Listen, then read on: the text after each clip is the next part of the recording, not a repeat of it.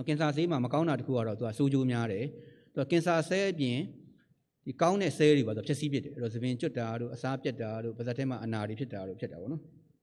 အဲ့တော့နောက်ပိုင်းကျတော့ဗာတွေလောက်လာတယ်ဆိုလို့ရှိရင်ကင်ဆာဆဲကိုပဲဓာတ်ရိုက်ကီမိုပေးခြင်းတယ်ဒီပြနေရာကိုကျွန်တော်တို့မထိချင်ဘူးကျွန်တော်ဒီနေရာမှာကင်ဆာဖြစ်တယ်ဆိုရင်အကျောကသွင်းလိုက်ရင်ဒီကိုယ်လုံးမှာရှိတဲ့ဆဲတွေပြက်မယ်အဲ့တော့ဒီနေရာကိုပဲဓာတ်ရိုက်ကီမိုပေးခြင်းတာပေါ့နော်အဲ့ဒါကိုဘာခေါ်လဲဆိုတော့ targeted ကီမိုသီရပီလို့ခေါ်တယ်အခုနောက်ပိုင်းကျတော့ targeted ကီမိုသီရပီတွေပေါ်လာပြီဈေးလဲပိုကြီးလာတယ်ပိုလဲကောင်းလာတယ်ပိုလဲပျောက်တယ်စိုးကျိုးလဲပိုနေလာတယ်နော်အဲ့တော့အရင်တုန်းကကျွန်တော်တို့ကုနေတာကဒီရိုးရိုးနေရာလေးကိုကျွန်တော်တို့အမြောက်နဲ့ထုလိုက်တယ်လို့ပေါ့နော်ရိုးရိုးနေရာလဲပျက်စီးသွားမယ်ကောင်းတဲ့နေရာလဲပျက်စီးသွားမယ်လူလဲစိုးကျိုးတော်တော်ခံရတယ်အခုနောက်ပိုင်းကတော့တကယ်ယောဂဖြစ်တဲ့နေရာကိုပဲရှာမယ်ရှာပြီးတော့ကုတဲ့ခါကျတော့ပို့ပြီးတော့ကောင်းလာတယ်အဲ့တော့ကင်ဆာကုတဲ့ကုထုံးနေရတယ်ငကိုတဲ့မတူတော့ဘူး အများကြီးကောင်းလာတယ်တချို့ဆိုလို့ရှိရင်အထက်မှာရှိတဲ့ receptor ကိုကုတယ်ဟော်မုန်းနဲ့ကုတယ်ဆိုတော့ကင်ဆာဖြစ်လို့ရှိရင်ကီမိုသွင်းမှုကိုလည်းမကြောက်ပါနဲ့အခုနောက်ပိုင်းမှာဖြစ်တဲ့ကီမိုဆေးတွေကပိုလဲကောင်းလာတယ်ပိုလဲဆိုးကျိုးနဲလာတယ်ပိုပြီးတော့လည်းအောင်မြင်လာတယ်အဲ့တော့ကင်ဆာဖြစ်ရင်ကျွန်တော်တို့ဘယ်လိုကုကြမလဲပေါ့နော်အဆင့်ပုံမူတည်ပြီးတော့ကုအဆင့်1မှန်မြောင်းနဲ့ကုလို့ရရင်မှန်မြောင်းနဲ့ကုမယ်နောက်အဆင့်2 3ဆိုလို့ရှိရင်ခွဲလို့ရရင်ခွဲမယ်ပြီးလို့ရှိရင် တက်ကင်တာစေးသွင်းတာလုပ်မယ်ခွဲလို့မရဘူးဆိုလို့ရှိရင်လည်းအဲတက်ကင်စေးသွင်းလုပ်မှာပေါ့နော်နောက်တချို့ကတော့ခွဲလို့လည်းမရတော့ဘူးခွဲလို့မရဘူးဆိုရင်သူ့ကိုကြာကြာနေလို့ရအောင်ယောဂလက္ခဏာမခံရအောင်နာကျင်တာမခံရအောင်အစာစားနိုင်အောင်ကျွန်တော်နှီးမျိုးစုံနဲ့လုပ်မှာပေါ့နော်နောက်တစ်ခါကုပြီးလို့ရှိရင်လည်းပြန်ဖြစ်တတ်တယ်ပြန်ဖြစ်တော့သူ့ကိုရချင်းပြန်ခေါ်ရတယ်ခဏခဏပြန်ဆက်ရတာပေါ့နော်အဲ့တော့မှန်မြောင်းနဲ့ကုလို့ရရင်မှန်မြောင်းနဲ့ကုမယ်ခွဲပြီးတော့ကုလို့ရရင်ခွဲပြီးတော့ကုမယ်ကင်ဆာသေးသွင်းလို့ရတယ်ကင်ဆာသေးသွင်းမယ် တိုက်အောင်ညီနဲ့ကုလို့ရရင်တိုက်အောင်ညီနဲ့ကုမယ်အခြားနည်းတွေလည်းရှိသေးတာပေါ့နော်ကီမိုသီရပီတွေဒီပင်နည်းတွေရှိတယ်အဲ့တော့ကင်ဆာဟိုတော့ဘယ်သူမှမဖြစ်ချင်ဘူးနော်အဲကျွန်တော်တို့လည်းကင်ဆာတွေ့ပြီဆိုရင်လူနာကိုရှင်းပြရတာတော်လေးခက်ခဲပါတယ်ကင်ဆာဖြစ်ပြီဆိုလို့ရှိရင်လူတိုင်းကတော့စိတ်မကောင်းဘူးပေါ့နော်ကျွန်တော်တို့လည်းလူနာကိုအဲအဲ့လိုဖြစ်တဲ့စိတ်မကောင်းဘူးပြောရမှာလည်းပါဇက်တက်ကတော်တော်လေးမထွက်ဘူးပေါ့နော်အဲမပြောလို့လည်းကျွန်တော်တို့မှမဖြစ်ဘူး ဘာလို့လဲဆိုတော့လူနာကဘာဖြစ်နေမှလည်းမသိဘူးဒီဘယ်လိုကုရမှလည်းမသိဘူးဆိုတဲ့ခါကျတော့ကျွန်တော်တို့ပြောရတယ်အဲ့ဒီမှာဗမာပြည်မှာစပြီးပြဿနာဖြစ်တော့တာလူနာရှင်တွေအကုန်လုံးကကျွန်တော်တို့တားတယ်လူနာကိုမပြောပါနဲ့အဲ့တော့လူနာကလွဲလို့အကုန်လုံးကကင်ဆာမှန်းသိတယ်လူနာတယောက်ပဲမသိဘူးအဲ့တော့တကဘာလုံးမှာတော့သတ်မှတ်ထားတာလူနာကအရေးကြီးဆုံးပဲအကုန်လုံးကိုလူနာပဲဆုံးဖြတ်မယ်ဒီလူနာကခွဲကျင်ရင်ခွဲပေးရမယ်မခွဲကျင်ဘူးဆိုရင်ဘယ်တော့ပဲအရေးကြီးတဲ့ယောဂဖြစ်ဖြစ်လူနာသဘောမတူရင်ခွဲလို့မရဘူး ဆေးသွင်းမယ်ဆိုလဲဒီလိုပဲမှန်မြောင်းကြည့်မယ်ဆိုလဲဒီလိုပဲတောက်ဆေးပေးမယ်ဆိုလဲလူနာကိုအရင်ပြောရတယ်ကျွန်တော်တို့ရဲ့ဆေးပညာကျင့်ဝတ်ကလူနာကိုအရင်ပြောရမှာအဲကျွန်တော်တို့ရှိမှာဗျောင်းမြန်ဖြစ်နေတာကလူနာကိုကျွန်တော်တို့ကနောက်ဆုံးမှပြောရတယ်လူနာဆောင်နေပြောလူနာဆောင်နေဆရာမပြောပါနဲ့အဖေသိသွားရင်စိတ်တက်ကြသွားမယ်နော်ဟုတ်တယ်တော့ကျွန်တော်တို့မှာအဲ့နှစ်ခုမှာတော်တော်လေးဒုံတွဲနေတယ်နော်လူနာကိုရှင်းပြလို့လူနာလည်းသဘောတူတယ်လူနာရှင်လည်းသဘောတူရင်ကျွန်တော်တို့လူနာကိုပုံမှန်လင်းလင်းပြောပါတယ်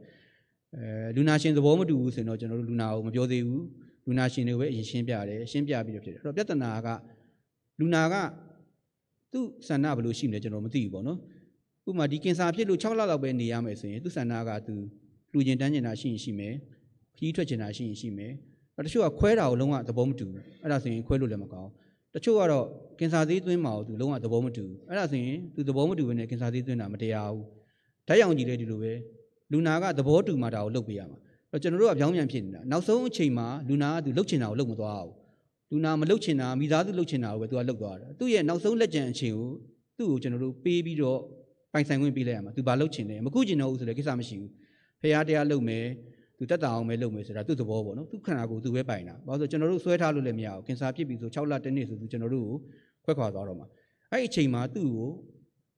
ဒီအချိန်ကိုသူ့ပိုင်အောင်ပေးလိုက်ရမှာအဲ့ဒါတွေအကုန်လုံးကိုသူမပိုင်ဘူးကျွန်တော်တို့တွေကပဲဆုံးဖြတ်နေတယ် လူနာရှင်တွေအိမ်နီးနားချင်းတွေဆရာဝန်တွေကပဲသူ့ကိုဆေးသွင်းလိုက်ဓာတ်ကင်လိုက်အကျော်သေးထိုးလိုက်နောက်လူနာကသူမလုတ်ချင်မဲနဲ့လည်းဆေးဝင်လာတယ်လုတ်ချင်တယ်ဆိုရင်တော့ကောင်းတာပေါ့နော်အဲ့တော့ကျွန်တော်တို့ရဲ့သဘောအရတော့ဖြစ်နိုင်ရင်လူနာကိုပုံမှန်လင်းလင်းပြောစီခြင်းတယ်ဒါပေမဲ့ကျွန်တော်တို့ရဲ့ရိုးရဒလေးကာချာအရတော့မပြောကြဘူးဆိုတော့ဒါကတော့ကိုမိသားစုနဲ့တိုင်ပင်ပြီးတော့ဖြစ်တယ်ကျွန်တော်တို့သဘောအရတော့လူနာကိုပုံမှန်လင်းလင်းပြောတာပို့ပြီးတော့ကောင်းတယ်လူနာရဲ့သဘောတူညီမှုရှိမှလည်းကုရတာပို့ပြီးတော့ကောင်းတာပေါ့နော်အဲ့တော့နံပါတ်1ဖြစ်ပြီဆိုလို့ရှိရင် ကင်ဆာကိုလက်ခံနိုင်အောင်အရင်ကြိုးစားပါပေါ့နော်ဘယ်ယောဂဖြစ်ဖြစ်မဖြစ်ချင်ဘူးနှလုံးဖြစ်ရင်လည်းနှလုံးယောဂဖြစ်ပြီဆိုတာလက်ခံအောင်ကြိုးစားရမယ်စီးကျုပ်ဖြစ်ရင်လည်းစီးကျုပ်ငါဖြစ်နေပြီဒါဆင်ញင်ရမှာပေါ့နော်ကင်ဆာဖြစ်ရင်လည်းပထမယောဂကိုလက်ခံနိုင်အောင်ကြိုးစားရမယ်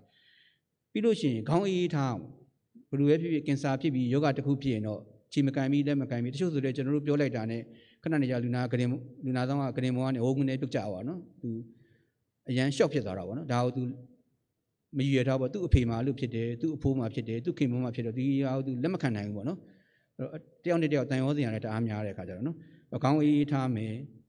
စိုးရင်စိတ်ကိုရှော့ပြောတော့တော့တော်တော်လေးလွယ်တယ်တကယ်ဖြစ်လာတဲ့ခါကျတော့စိုးရင်စိတ်ကိုဘယ်သူမှမလျှော့နိုင်ဘူးစိုးရင်စိတ်များတဲ့အတွက်ပို့ပြီးတော့စိုးလာတယ်ဟိုကလည်းလှုပ်ချင်းဒီကလည်းလှုပ်ချင်းဒီကကျွန်တော်တို့ရှင်းပြတာလေသူနားလည်းမရောက်တော့အဲ့တော့ယောဂကိုလက်ခံနိုင်အောင်ကြိုးစားပါခေါင်းအေးထားပါစိုးရင်စိတ်ကိုတတ်နိုင်တော့လျှော့လိုက်ပါ လျှော့ပြီးတော့ဒီယောဂကိုအကောင်းဆုံးဘယ်လိုရင်ဆိုင်မလဲဘယ်လိုကုမလဲပေါ့နော်အဲ့တော့လူနာနဲ့မိသားစုတေချာတိုင်ပင်ရတော့မယ်ဒါဖြစ်ပြီးဘယ်လိုကုကြမလဲပေါ့နော်ဆရာတော့ရှင်းပြရတယ်ခွဲတာသွေးသွင်းတာတက်กินတာဒီမှာကုကြမလားဘယ်ဆရာနဲ့ကုမလို့နိုင်ငံသားကိုသွားမှာနော်ခွဲမယ်ဆိုလဲကျွန်တော်တို့လာမေးတယ်ဆရာဘယ်လိုနဲ့ခွဲရမလဲပေါ့နော်အဲ့ဒါလည်းကျွန်တော်တို့မှာပြဿနာပေါ့နော်ဘယ်လိုနဲ့ခွဲရမလဲဆိုရင်တော့ယောဂဖြစ်တာတည်းသူ့မှာကျွမ်းကျင်တဲ့ဆရာတွေရှိတယ်ခွဲတိုင်းရောကောင်းလားဆိုတချို့တူနာမကောင်းသူအယောက်တရာခွဲတယ်နှစ်ယောက်လောက်မှစိုးကျိုးတွေရှိတယ်အဲ့ဒါဆိုရင်တော်တော်လေးတော့ဒုက္ခရောက်တယ် ကျွန်တော်သဘောရတော့လာပြလို့ရှိရင်တကယ်ကျွမ်းကျင်တဲ့ခွဲစိတ်နိုင်တဲ့ဆရာကိုကျွန်တော်၃ယောက်လောက်ရေးပေးလိုက်တယ်၃ယောက်လောက်ကိုသွားတိုင်ပင်ကြည့်ပါသွားတိုင်ပင်ကြည့်ပြီးတော့ကိုနဲ့စကားပြောလို့အဆင်ပြေတယ်ကိုကြိုက်တဲ့ဆရာနဲ့ခွဲပါပေါ့နော်ကျွန်တော်လွှဲပြီးတဲ့ဆရာပဲလေကျွန်တော်၃ယောက်လောက်ရေးပေးလိုက်တယ်ရေးပေးလိုက်အဲ၃ယောက်ကိုသွားတိုင်ပင်ပါတိုင်ပင်ပြီးတော့အဲ၃ယောက်ထဲကမှကိုသဘောကျတဲ့ဆရာနဲ့ခွဲပါပေါ့နော်တယောက်တည်းကိုကျွန်တော်အများနဲ့မလွှဲပေးဘူး၃ယောက်လောက်နာမည်ရေးပြီးတယ်ရေးပြီးတဲ့ထဲမှာ၃ယောက်ကိုသွားတိုင်ပင်တိုင်ပင်ပြီးတော့ကိုစိတ်တိုင်းကြတဲ့ဆရာနဲ့ခွဲတာကောင်းတယ်